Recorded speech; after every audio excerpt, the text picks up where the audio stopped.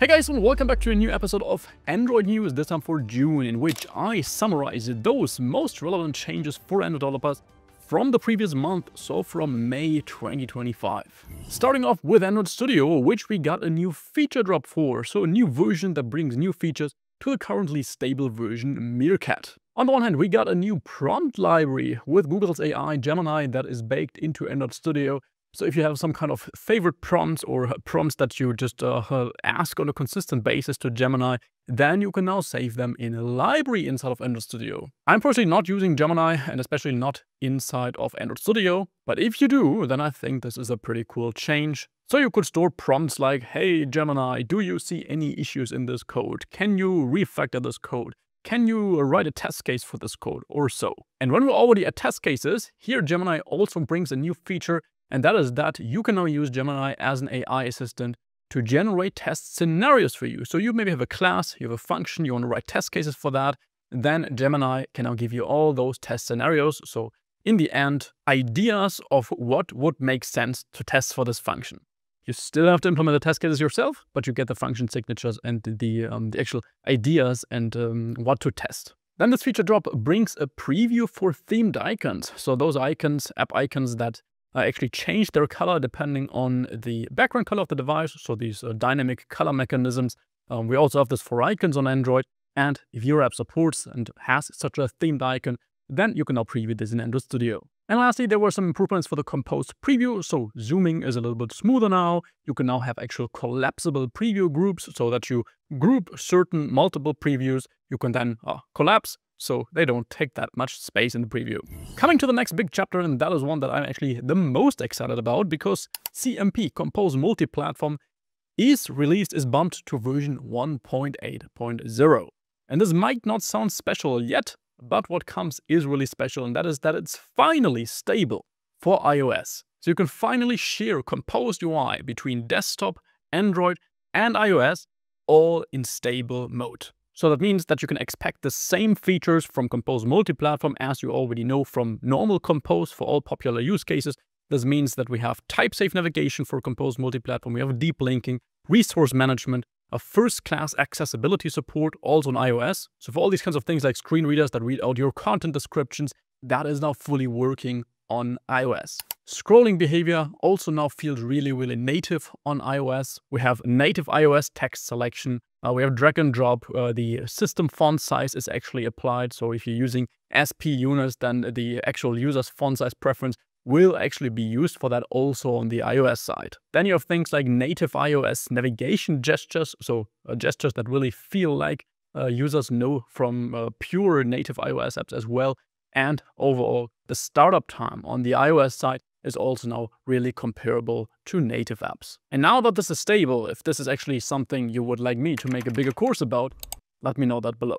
But we don't need to put a check to Compose multi-platform yet because there are even more cool announcements and changes coming. Because JetBrains has also been working on an improved version or an update of the existing uh, Kotlin multi-platform IDE plugin and some things that I have really missed in Compose multi-platform are finally coming. That is on the one hand, an integrated IDE wizard to uh, create Compose multi-platform projects. As you maybe know if you've uh, worked with that before, right now we have to go to the uh, KMP JetBrains website to just uh, download a zip file, open that in Android Studio and so on. Now that is not necessary anymore, at least from the next Android Studio version from now will, since you will be able to just create the project right away inside of Android Studio.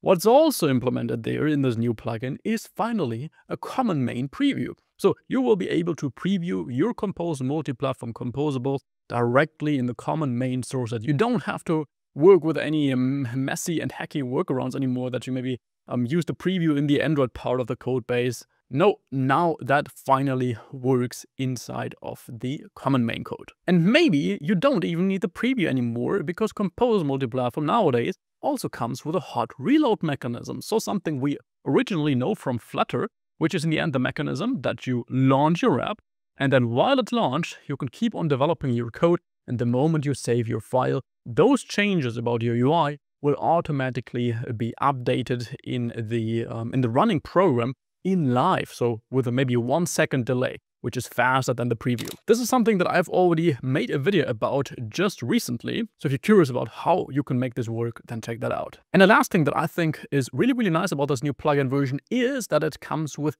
cross-language support. So that means you can now go inside of your Swift code, for example, command click into your functions uh, that maybe come from Kotlin code, and then the Kotlin code will open and vice versa. Because before, this code was really treated as two completely separate units, but now we can really explore it with our typical command click way of doing it, because this plugin now comes with cross-language support. Okay, those were the most important changes about Compose multi-platform, Kotlin multi-platform, the plugin, but still staying in JetBrains for a moment, another news worth mentioning is that JetBrains is actually going into a strategic partnership with Spring Boot. So Spring Boot, if you're also following the channel a little bit, I'm actually making a few videos about, which is in my opinion, the backend framework that you should choose if you want to build backends with Kotlin. Of course, there is also Ktor, but Spring Boot as a framework as a whole is just much more mature. I've worked with both and Spring Boot is just uh, much, much better to work with. But this strategic partnership between JetBrains and Spring Boot pretty much just means that we get first-party support for our code for helpful utility functions inside of Spring Boot from JetBrains directly. So that means if you say you are a Kotlin developer, you like Kotlin as language, and backend is actually something that you would like to explore a bit further and you would like to dive into, then now is a really, really good time to do so. And an even better way to start with that is, of course, by exploring my videos about that. Um, I can recommend to start off with the um, Spring Boot crash course, which I have a three-hour video about that really helps you get started using Spring Boot in Kotlin. All right, moving away from the JetBrains ecosystem a little bit towards the Google ecosystem. And here I have to share a new requirement that Google Play comes with. Um, I know these Android news episodes here are usually full of new Google Play uh, requirements, but this one is not too bad, and I see a, reason in this requirement. So specifically, uh, Google is announcing uh, that there is a new page size um, requirement that your apps have to stick to. So specifically from November 1st in this year, 2025, your apps have to start supporting a page size of 16 kilobytes. So page sizes are something that is uh, related to memory, so to your app's RAM. If you think of your RAM as um, a book with thousands of pages, then obviously each page has a size, and the larger the page is, the more we can fit into it, the more we can save there. And originally Android and um, Android devices got used to a page size of 4 kilobyte, which they've now changed to 16 kilobytes, which more reflects modern standards and in the end just improves um, performance a little bit. However, this only affects you and your app if your app has something to do with the NDK, so with native code. If you did not type any native code in your own app, then it can technically still be the case that you're using some kind of library that that, that does. Maybe you are using uh, some kind of rendering library or a video calling SDK or so. Um, these libraries are typically using some sort of native code. Then you will very likely have to update the versions of those libraries check the changelogs of your library, and if they mention something about a memory page size limit or so, then um, that is probably the version that fixes it. If you're using your own native code in your app, then you need to recompile it with a more recent uh, toolchain, and in the end, check if you have any uh, memory management related code in that native code that may be incompatible with the 16 kilobyte page size. And the last big news that I think is really, really worth mentioning is that the new Navigation 3 library is now in alpha. So in case you didn't know about that, that's actually something that I teased here in Android News very, very early, many months ago. But Google, in fact, released a new navigation library. So we now have navigation for uh, fragments originally, a navigation component it was called. Then we have navigation compose, and now we have navigation 3, all from Google. And at first you might be like, okay, what the fuck? Why are they actually releasing that many navigation libraries? But I have tried out the new Navigation 3 library already, and I must say it solves a lot of problems that we had with Compose Navigation and Navigation Component. Because a big problem of Android navigation was always that we did not own the backstack. It was always some kind of data structure deep down in the framework that is managed by the framework. So you could call it functions like navigate and pop backstack, but what this really does under the hood and how the real data structure of that backstack looks like, which in the end should really just be a stack, right? Um, that, that, that is something the framework has completely hidden from us. And that has changed with Navigation 3, because with Navigation 3, we 100% on the backstack. And that means that you pretty much just have a simple field, a simple list in your code that hosts your entire backstack. You literally have a list of nav destinations, and that did not change at all um, compared to type-safe compose navigation. So you have destinations, which are just serializable data classes or data objects, and you have a list of those, and that list is your backstack. And if you want to navigate to a new destination, you simply push that new destination to that existing backstack, if you want to go back to the previous destination, you simply remove what's on top. But this also means that you could literally now, I don't know, shuffle your backstack or reverse it because you got the full control. And I can't count how often I had backstack related issues and the backstack wasn't behaving as I expected. So I'm really, really looking forward to this library, which is currently in alpha, um, but uh, I've tried it out and it's already uh, quite promising. What this also means is that technically you could now take your backstack which is really just this um, composed state list. And you could store this in a view model. So you could perform your entire navigation inside of the view model. You would have full context about where the user currently is, where you can navigate, um, that you can you can pop back, uh, backstack destinations from the view model. However, in that case, you are responsible for actually serializing the backstack and restoring it after process death. That's something the, the library does for you if you initialize the backstack in the UI, but not if you keep it in the view model. But you know, technically what this means is you could now also say, I simply don't restore my backstack after process death because the framework now doesn't enforce this anymore. This would not be restored. And what this would mean is, okay, the user maybe minimizes your wrap and then the uh, while it's in the background, the Android system decides to kill it because it needs memory. But if the user then goes back to the app, well, then they won't get back to the previous destination they have been on, but they will simply start off with a typical cold start of your app and get wherever that would lead them. Yes, this is of course worse when it comes to usability. Ideally, we should restore it so the user gets to where they uh, where they left at. But previously, process death also led to many issues because people did not handle all the other side effects that had.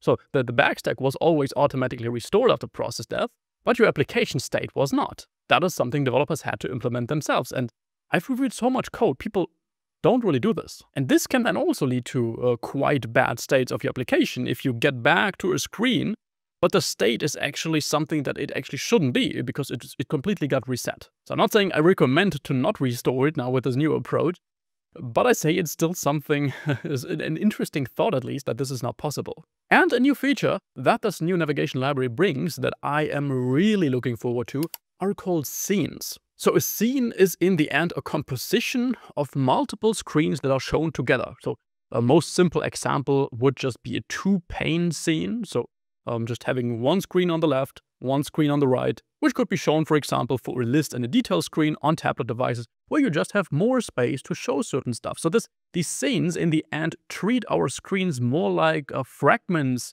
in the original sense used to be meant for. But the cool thing is that each screen, so if we have a tablet device and we have a list screen on the left and the detail screen on the right, each of those two screens is still technically treated as its own screen, even if they are shown together in one scene.